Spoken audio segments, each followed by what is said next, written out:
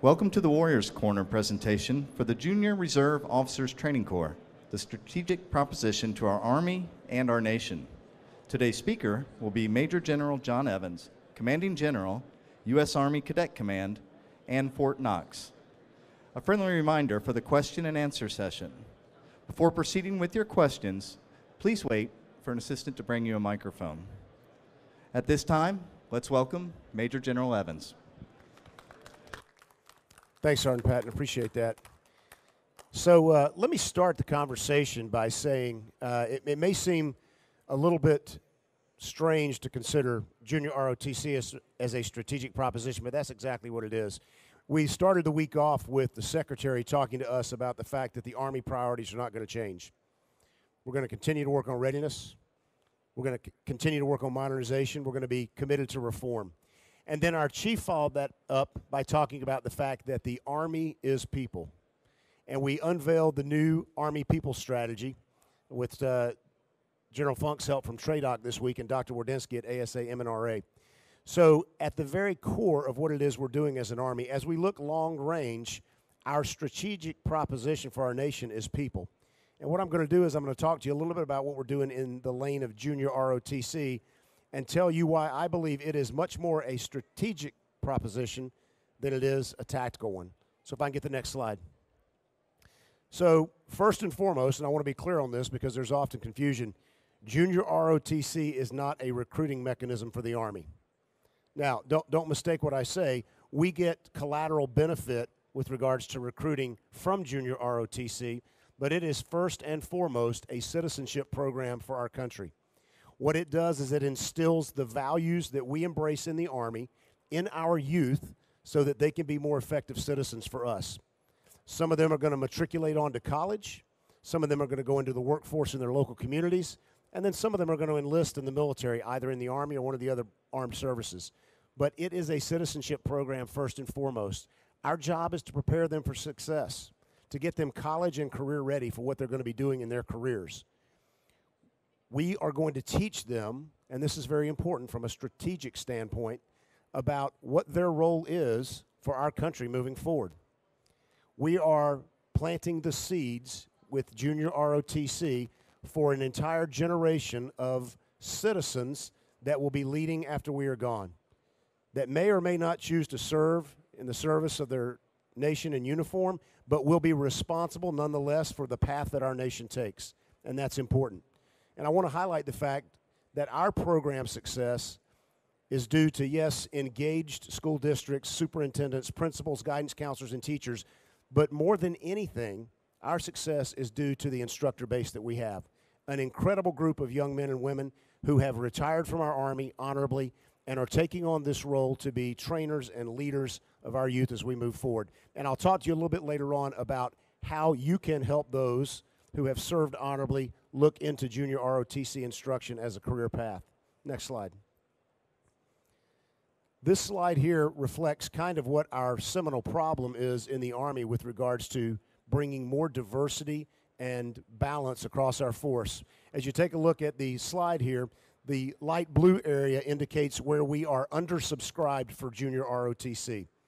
And we've got a calculus that you can see there that we take the number of funded programs divide it by the number of high schools across the nation, and multiply it by the number of schools in the state.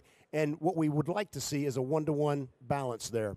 As you can see, in a lot of places, we're woefully underrepresented. You look at Oregon, we're at a 5 to 22 ratio. Whereas in the crooked smile of America, where we draw much of America's combat forces and much of the people, the men and women who enlist or serve in the military, we're doing very well. In Texas, better than one to one in North Carolina, four to one. We've got a problem that we've got to get our mind wrapped around in that we've got to make sure that as we move out as an army, we are representing our nation by pulling people from all walks of life. We know for a fact that only four in 1,000 people in our country serve.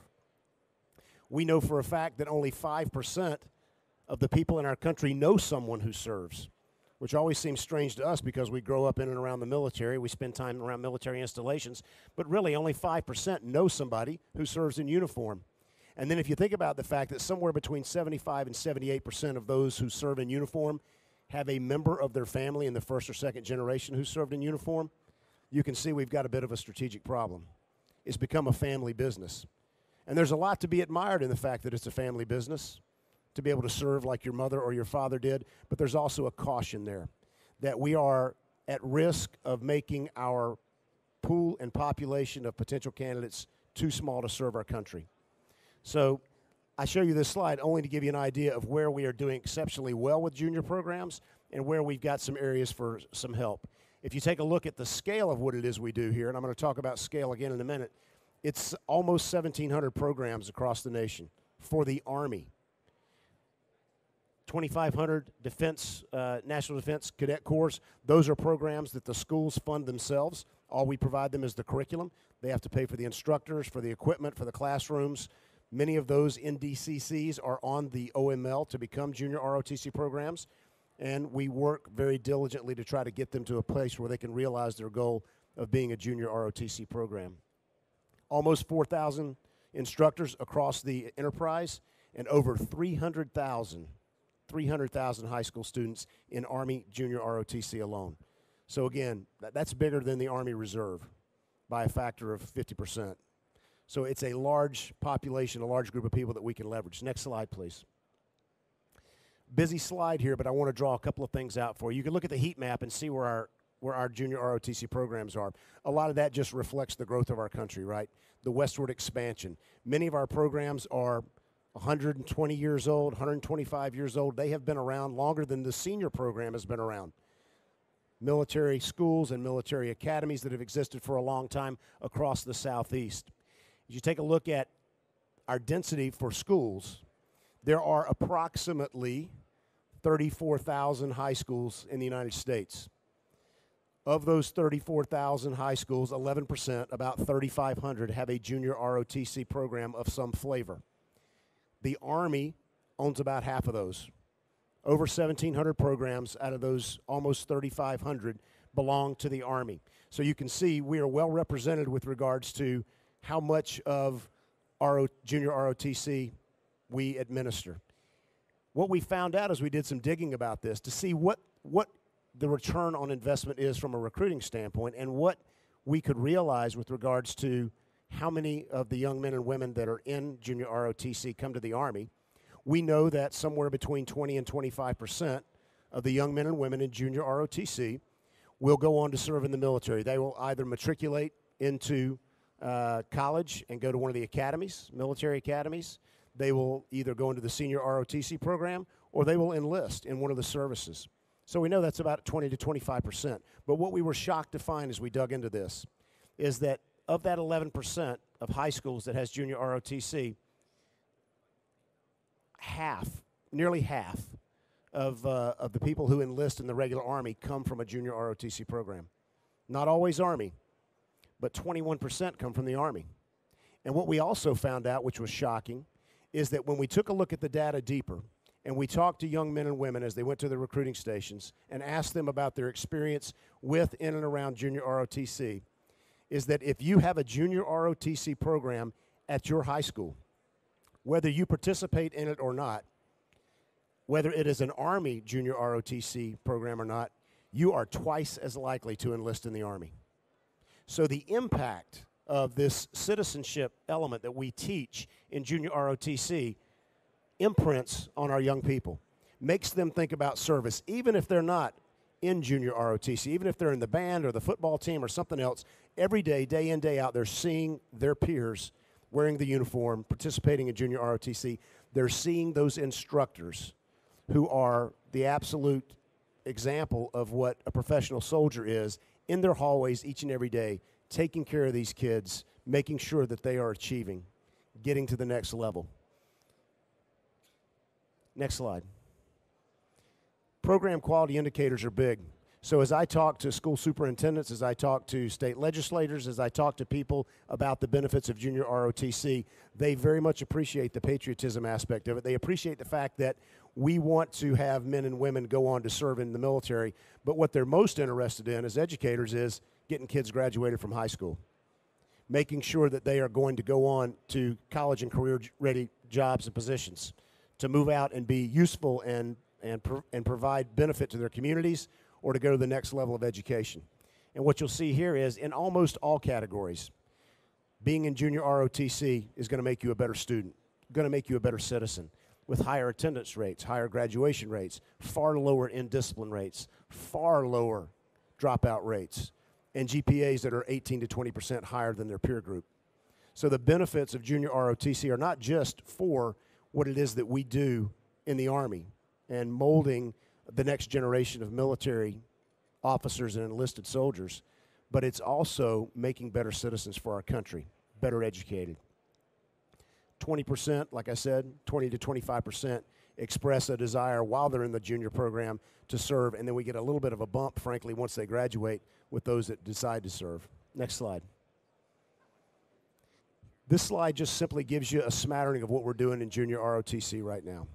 And I'm very excited about some of the programs we've got going on because what we are trying to do is we are trying to match this, this continued escalation in STEM and technology uh, and engineering and robotics and mirror programs within junior ROTC at the schools in extracurricular and co-curricular activities that will allow young men and women to be better placed for jobs as they move out. Whether that's in the military, where we want to we obviously want to gain their skill sets when we can, or whether that's outside the military in their communities, or moving on to schools, colleges, and universities that value that depth of experience, whether it's going to be in uh, science, technology, engineering, and mathematics, whether it's going to be in robotics. And then we've got other co-curriculars that, that we also work on. Drill competitions. I will tell you, I went to the national drill competition last year in Daytona, Florida. Uh, and, uh, and I'm a special ops guy, so we don't march real well. Uh, but I went to, uh, yes, sir. But I went to this drill competition.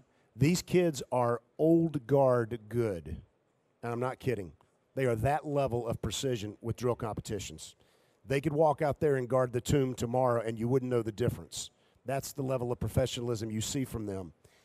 You take a look at our Raider Challenge. Again, General Funk talked earlier this week about the crisis of obesity in our country, about the fact that we can't get kids out to do things, about the fact that only 12% of kids uh, a- after the age of 12 decide to do anything athletic during their school careers.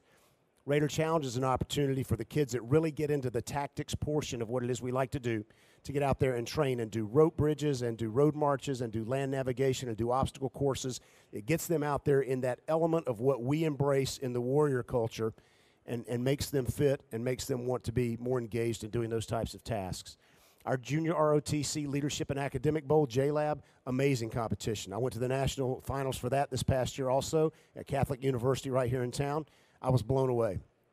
Of the 30 questions they asked uh, these high school kids during that uh, JLAB final competition, and I've got two master's degrees. I did go to Appalachian State, so that's a caveat. I, I could answer maybe three questions. I mean, the level of their academic acuity was, was amazing. And we continue to do that and, and foster that as we move forward. Air rifle competitions always scares people when I start talking about junior ROTC kids with air rifles, right? Okay, they're non, they're non-lethal weapons. And what we're doing is we're taking them and teaching them discipline and skill sets that they can use later in life that they can apply across a breadth of experiences.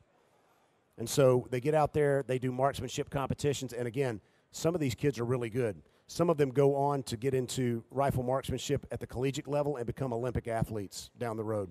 So we're very proud of that program as well. And then finally, the Junior ROTC Cadet Leader Challenge, JCLC, takes them out and gives them an opportunity to do those things that we value in the military, to give them a taste of what it is we're doing, whether that's going out and doing drill and ceremony or whether it's going out and doing field tasks or learning those basic warrior craft and skills that they can apply later on if they have a desire to serve uh, in ROTC. Next slide. We're continuing to work uh, in the STEM and cyber areas, and you can see up here, I won't go down through all of these, but I will tell you that we've had great success partnering with Vex Robotics.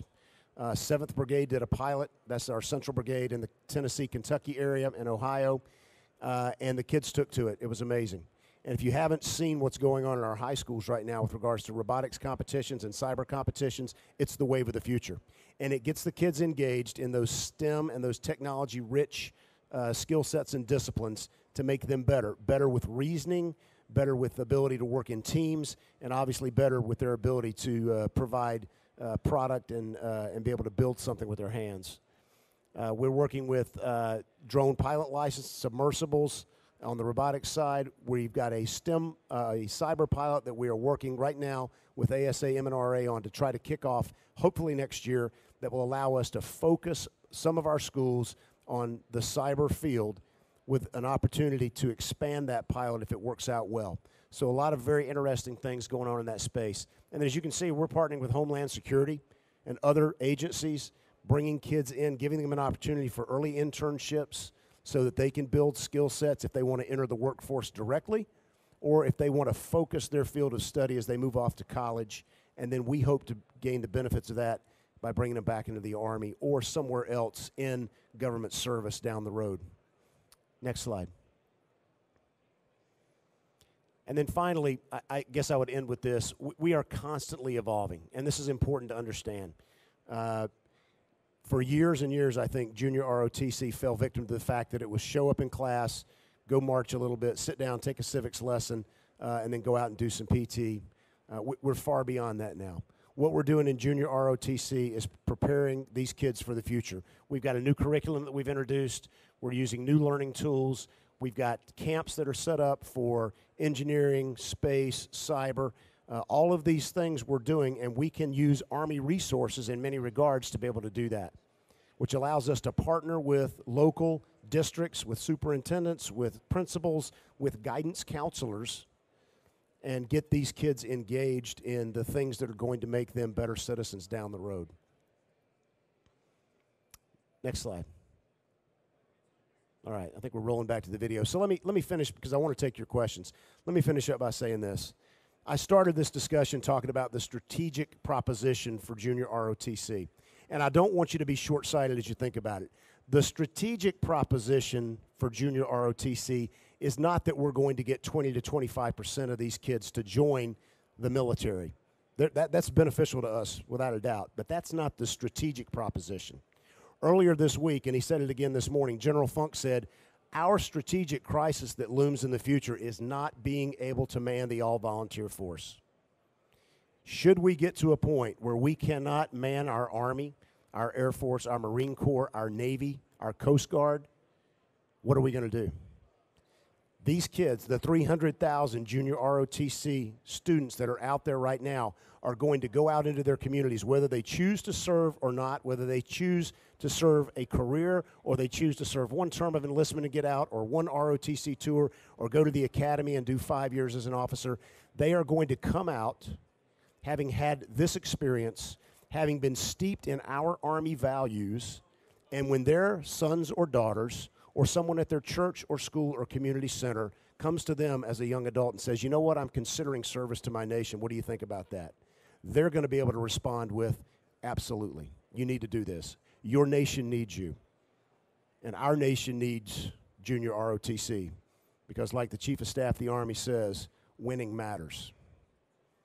I'll be happy to take your questions now. Yes, sir. Hey, Neil. I think they got a microphone for you. Thank you, General Evans. Uh, excellent presentation, and we're sold on Junior ROTC. I'm the CASA for Eastern Washington. Neil Seelock, previous DCG of Cadet Command, and Junior ROTC is near and dear to our heart. But, sir, we want to be able to take the proper message back. We know it's difficult to get a new program started. Thank you. We just got University High School off the ground this year, and it's going to go great guns. First Army program since we opened Wellpinit 10 years ago. But is it reasonable to expect that we can expand where it's wanted? Or is there a possibility of, as, as an example, sharing between schools? So, great question. Uh, let me start by saying so everything's got a price, right? Uh, junior ROTC is set up uh, as a DoD program. is set up in law, statutory, statutory law. Uh, it is capped right now at uh, a little north of 3,400 programs across all the services. Now, what we do have flexibility to do with junior ROTC that, frankly, we can't do with senior ROTC is that when, from time to time, a program attrits you know, it, it fails either because uh, the school district loses interest or there's a leadership change in the school district or they don't want to fund it, whatever the case may be. When that, when that program attrits, we go back to our order of merit list and we go to the top of that list and we say, okay, you now get a program. Hopefully you're ready to fill that program and we allow that program to open. I've been in discussions with uh, General Funk and with ASA M&RA, Dr. Wardynski, about what would be the benefits of increasing junior ROTC. Is that something we should look at? Is that strategic proposition such that that's a good expenditure of resources? But the caution there is because, like you said, it's very popular and people buy in. Once you plant a program somewhere, if that program's not failing, it is exceptionally hard to unplant it. Our Congress gets very, very personally involved. They love these programs. They see what it does for their communities, they see what it does for their constituency. Uh, and so going in and saying, hey, we're going to cut the budget this year and we need to cut 100 junior ROTC programs, I can tell you that'd be dead on arrival in Congress. So we have to be very deliberate about the way we approach this. We are having discussions about do we need to look at the size of junior ROTC, but some of those discussions have yet to occur. You bet. Good Yes. morning, General. My Hi. name is Sarah Matthews. Hi, Sarah. Um, the question I have for you is our daughter is, she's an Army brat. Okay. She's been in Air Force JROTC, and we just, my husband just retired and is the Commandant of the Corps at the University of North Georgia. Oh, okay, great. So she's actually in a Marine JROTC now, but she's interested in flying. Okay. So my question is, is what is the Army doing for the JROTCs who are interested in flying? The and the, what I'm getting at is the Air Force actually has a program for their JROTC to compete for um, for scholarships to learn to fly, and with the with for them going into flight. Right. No, that's a great question. I appreciate that. Um, and I'm an Army aviator too, so you know I like pilots and I like flying. It's good stuff. I, I would like everybody to be a pilot. Uh, the the core task of the Air Force is to fly. So they, they certainly have some opportunities and some programs that are oriented towards taking kids into the pilot, you know, line of work. Uh, in the Army, we're, we're much more broad than that. We're significantly larger, and uh, uh, it's very difficult for me to take our 18 branches and say we're going to uh, we're going to give scholarships for these types of branches when we don't know how kids are going to fare when the time comes for them to to take a look at their branching process. Uh, that that program is probably associated with the academy and getting them to the academy. I don't know, uh, but that that sounds like what it is. Even at our military academy, when we send young uh, men and women up there, they don't know what their branch is going to be until their fourth year. So we don't have a program like that. Uh, it would probably be cost prohibitive for us to do that in the Army, only because aviation is just a part of what we do. Uh, but certainly, if she has a desire to fly in the Army, you know, she can move into senior ROTC in the Army, uh, compete well. Aviation tends to be very popular, so it's a, a difficult branch to get. But if she's already building the attributes for that, as we're looking at talent management down the road, we're looking at ways to measure those attributes now so that we can say to her, hey, we've looked at you as a student, as a whole person, and you actually have aptitude to be a pilot. So we think you'd be a good match, match for aviation.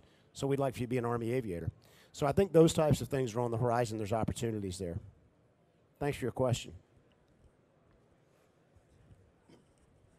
So just a uh, comment. I'm, uh, excuse me, uh, Joe Schroeder. I've been a AUSA member for about 30 years, and I've been in, heavily involved in the JROTC and the ROTC program Thank through AUSA for about the last 20 years.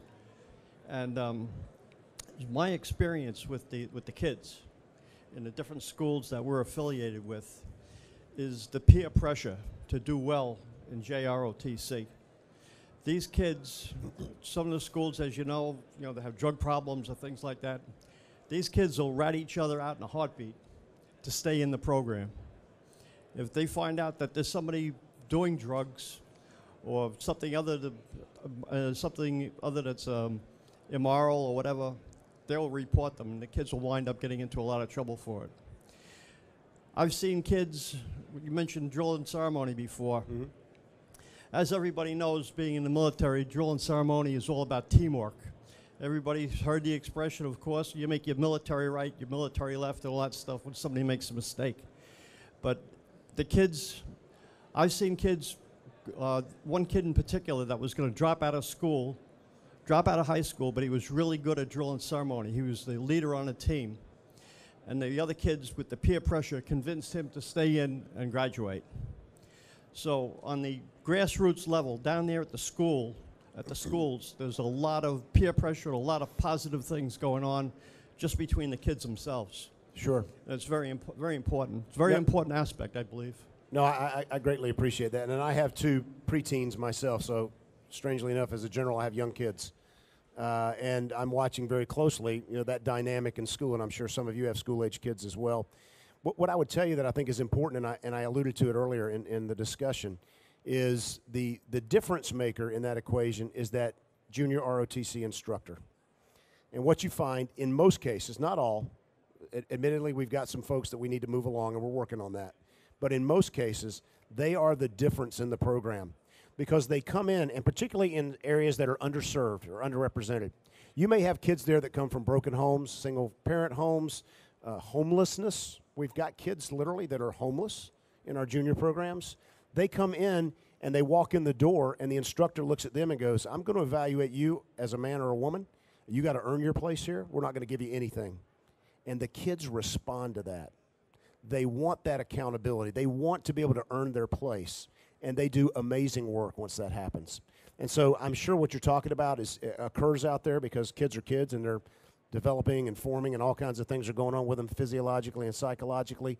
But more importantly, I think what you find is our instructors build this this spirit of teamwork by referring back to our Army values and telling a young person, hey, integrity is important. Your honor is important. Loyalty is important. Personal courage is not just standing in the face of fire, but standing up to a bully or standing up to someone who is doing something that you know is wrong.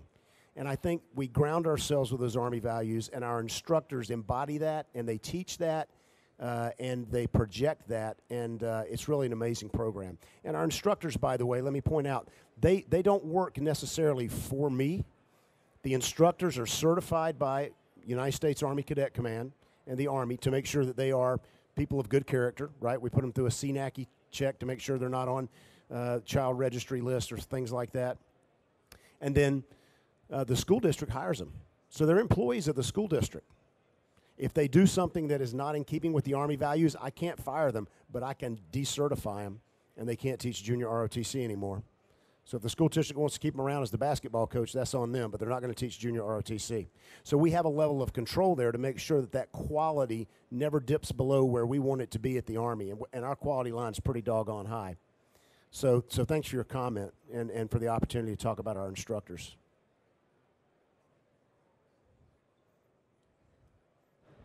Other questions? Oh, there we go. Hey, sir, it's Tom, Tom. Flippo from M&RA. Um, I was going to ask you a question earlier about the other services, and you covered a lot of things with numbers. My question is, based on where we're going with STEM and cyber and some other things, what else did we learn besides numbers when we look at the other services from how they select instructors, new initiatives, other things that we could learn from them that would, would continue to help this effort? Yes, that's a great question, Tom. He, he asked about, you know, what have we learned from the other services and their junior ROTC programs. In a lot of schools, we've got several different programs. We've got folks that are operating that are doing, uh, you've got Air Force and Army there represented. That's rare, but it happens. And we always try to partner with our, our DoD partners, right? We want to learn best practices. We are far and away the biggest kid on the block, uh, and we bring a lot of, you know, uh, I think power and initiative to that. What you'll find is, I think, because soldiers being what soldiers are, we're the best, best rounded warriors, frankly, in the Joint Force. I, that'll probably offend some people, but it's true. You know, they can do the basic blocking and tackling of what it is we do as a as a soldier. Uh, and so our instructors are kind of uh, they're kind of oriented that way to teach that basic blocking and tackling. The Air Force has a program called uh, Cyber uh, Patriot. Uh, we have uh, jumped onto that program and are expanding that program. And again, that was kind of an initiative by the Air Force to kind of take folks down the cyber road. Now, uh, ASA M&RA is interested in us doing something similar, but maybe at the next level, and we're looking into doing that right now. But we're always looking at uh, our uh, Air Force and Navy and Marine brethren to see what they're doing. And when you go to these national competitions, drill competitions, JLab, things like that, they're equally represented, the services are. So the kids are not just learning about Army uh, values and traditions and culture, they get exposed to the Marine Corps and the Navy and the Air Force traditions and culture. And I think that's pretty powerful as well. Because a lot of kids that are in Army Junior ROTC will serve to, to choose will choose to serve in one of the other services. And you know, and, and that's okay. That's okay. Thanks, Tom.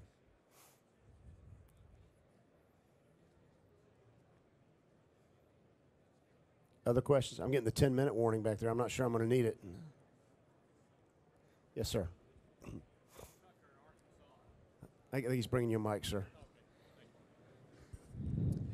One of the things we've learned in Arkansas, one is that we would love to double the number of programs because we're underserved, as your chart showed. Right.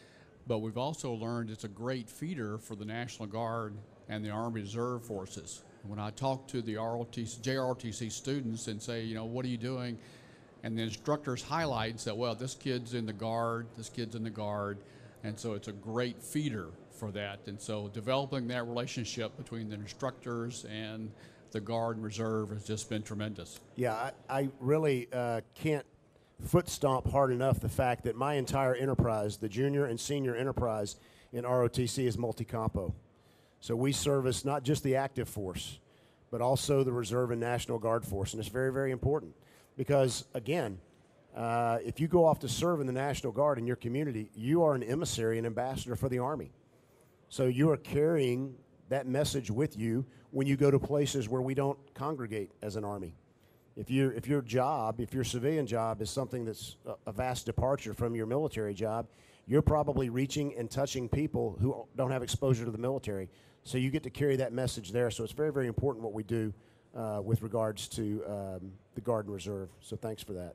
And, and the other benefit that we get, and um, General Siebold had kind of mentioned the fact that in some places people get they get a little um, upset about which uniforms we wear and what that projects and what that means. And in the current political environment, some of these things can be frightening for some folks. They see people in camouflage or they see people with air rifles and they think to my, themselves, oh my goodness, we're militarizing our youth. Well, not at all. That's not what we're doing.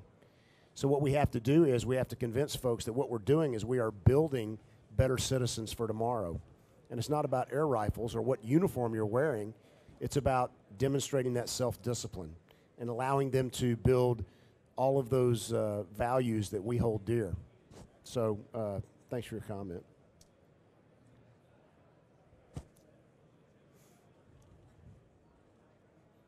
Anything else? Anything from the folks out there? The, the drive by crowd? Okay, well, I'll wrap it up then if nobody else has a question. Um, hey, I will tell you, thanks for coming today. Uh, you can do us a great benefit and a great service by talking about junior ROTC uh, in your communities, uh, in your schools. If they don't have a program, if they want a program, have them reach out to Cadet Command. There's a very simple online uh, process to be able to get in touch with my team and apply for a program at a college or at a high school. Uh, and we will take that into consideration. We'll rack and stack them on the OML. I'll be honest, our OML right now is a little over 250 schools. So we've got a lot of people that want junior ROTC that we can't service right now because, frankly, it's just a funding issue. But we always want to be aware of where people want to do this. And again, as, uh, as the chief said, as the secretary said, as General Funk always says, you are all recruiters for us. And junior ROTC, even though it's not a recruiting tool, down the road, those young men and women, by virtue of their exposure to our culture, are going to be recruiters for all of us as well.